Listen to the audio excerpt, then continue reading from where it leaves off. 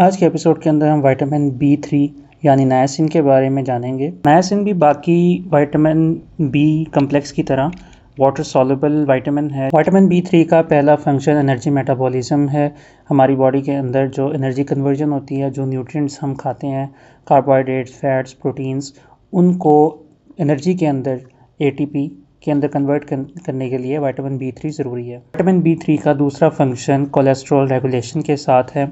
ये हमारी बॉडी के अंदर जो एल डी एल जिसको बैड कोलेस्ट्रॉल भी बोलते हैं आम ज़ुबान में, उसको कम करता है ट्राइग्लिसराइड्स को कम करता है और एच डी एल जिसको गुड कोलेस्ट्रॉल बोलते हैं, उसको बढ़ाता है। तो इसलिए जो हार्ट कंडीशंस होती हैं उनके अंदर और जिनके अंदर लिपिड प्रोफ़ाइल बिगड़ी हुई होती है, उन केसेस के अंदर विटामिन बी थ्री एक बहुत इंपॉर्टेंट न्यूट्रिएंट है। विटामिन बी थ्री का तीसरा फ़ंक्शन हमारे डीएनए रिपेयर के साथ है। ये हमारी बॉडी के अंदर डीएनए की रिपेयरिंग में हेल्प करता है। फोर्थ फ़ंक्शन इसका स्किन हेल्थ के साथ आता है और ये बहुत सारे स्किन केयर प्रोडक्ट्स के अंदर यूज़ भी होता है। तो इसका मेन काम हमारी स्किन प्रोटेक्शन के साथ आता है। स्किन बैरियर फ़ंक्शन होता है उसमें हेल्प करता है इन्फ्लेमेशन को कम करता है स्किन के अंदर। कुछ सर्टन स्किन कंडीशंस के इलाज के लिए भी वाइटामिन बी थ्री का यूज़ किया जाता है। वाइटामिन बी थ्री की डेफिशिएंसी हो तो उससे एक कंडीशन होती है जिसको पेलेग्रा बोलते हैं।